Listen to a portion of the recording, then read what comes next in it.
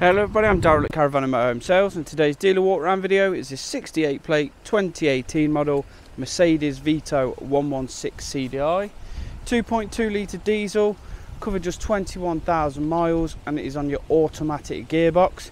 Has had a full camper conversion as you can see including the pop top roof and you have got privacy glass on the side loading doors. You do have twin side loading doors as well you have the really nice multi-spoke 18 inch alloy wheels. Carrying on round, the bodywork's all nice and straight. Round the back then you do have a tow bar and parking sensors. As you can see, all nice and clean. I really do like the black as well, it finishes off dead nice. Carrying on round this side, again you do have your side loading door with an opening uh, glass window and then your LPG locker stores away at the bottom there again bodywork all nice and straight. As you can see it's finished off with a really nice chrome grille. Very very nice looking Mercedes Vito right we'll jump inside and I'll show you a bit more of the layout. Inside then as you can see you do have your really nice full leather diamond stitch black and red rock and roll bed. Front seats are the same and they do swivel round also.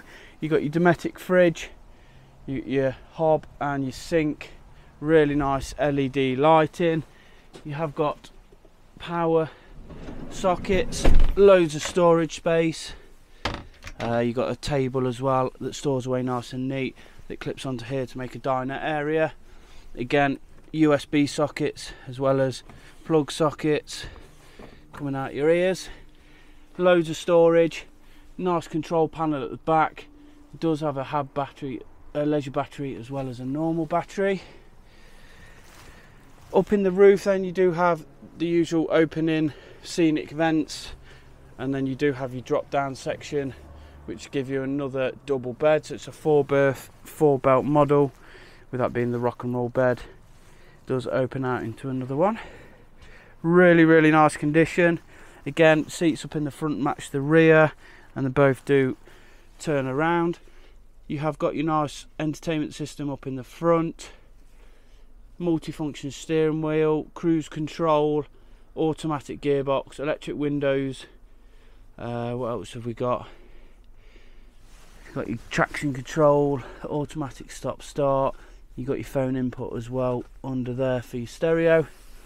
Really really nice bit of kit. I'll quickly show you you do have cab you do have curtains sorry as well and then there is some silver screens in that bag for the front windows. I'll just show you in the back. Has got the all important tailgate rather than the barn doors. And then you do have your seating area for your scenic views. Again loads more little storage cupboards hiding away. You got your leisure battery in there with your hookup cable. And then again more storage underneath the rock and roll bed really really nice conversion.